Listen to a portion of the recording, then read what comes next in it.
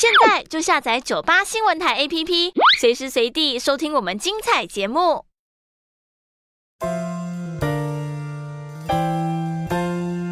位听众朋友们，大家好，我是 Amanda，祝福大家新春吉祥如意。天蝎座的朋友们，在二零二一年的星座运势，今年哈，其实确实会感受到一些来自于人情世故哈，或者是这种人际互动方面的压力。就是我要提醒天蝎哈，今年我们很容易怎么样？就是会有一种呃，说者无意，听者有。新的这种情况出现，哈，就是说自己其实是呃，可能在职场上啊，也是一个这种真心的一个想法的这个吐露吧，好，并没有什么恶意。但是被一些同事听到耳朵里，可能就觉得不舒服、不愉快，好，或者是呢，有人听了我们的这个言语之后呢，好，这个辗转的传出去，传着传着，哈，这个话的内容意思就不一样了，好，让天蝎觉得啊，怎么我这个根本就不是这个意思，怎么会变成了这种满城风雨的情况，哈，所以因为有这样的一个可能性，所以我会提醒天蝎座的朋友们，哈，在今年哈，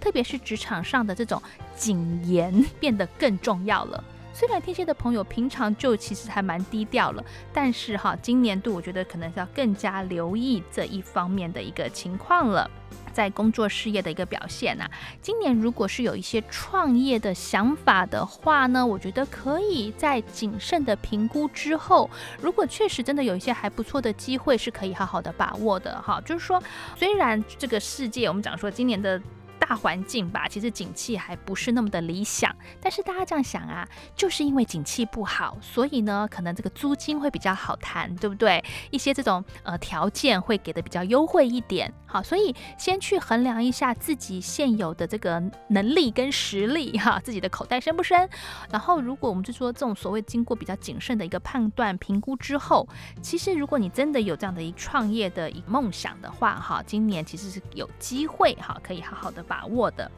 再来就是哈，那如果我们是这种上班族的话哈，我会提醒天蝎座的朋友们哈，要留意哦，就是说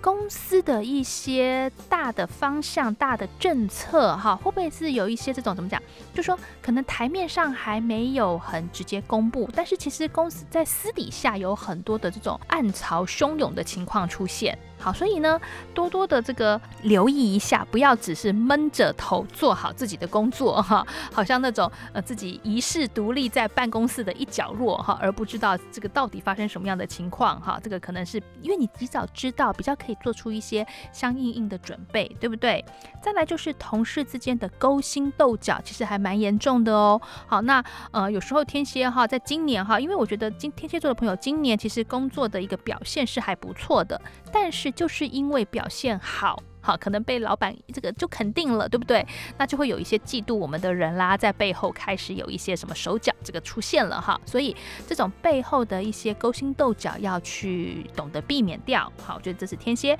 今年也要提醒自己的。再来就是哈，我们这个感情运势方面，今年度的天蝎哈，如果我们还单身的话呢，呃，我觉得自己在一些运动健身的场合，或者是一些这种社团，就是你那种兴趣嗜好爱好的这种社团当中，这两个环境当中呢，其实是有机会遇见一些还不错的对象。好，那我觉得我们就先从朋友做起嘛。好，先这个当个朋友，看看彼此之间的这种不管是观念啦、价值观啦、一些生活习惯哈，是不是比较接近一点，再来考虑进一步的发展。好，不要因为这个太想谈恋爱了哈，一遇到这个对象呢，就这种啊奋不顾身的投投入。哈，那你知道有时候投入了感情，天蝎座也是固定的这种水元素星座，对不对？真的。投入了感情，哈，万一后来发觉不适合，为难的还是自己，对不对？好，所以事先的这种理性的观察，从朋友做起，我觉得是会让今年哈这个感情运、桃花运更好的一个很重要的一个关键点了。感情稳定的天蝎，今年度哈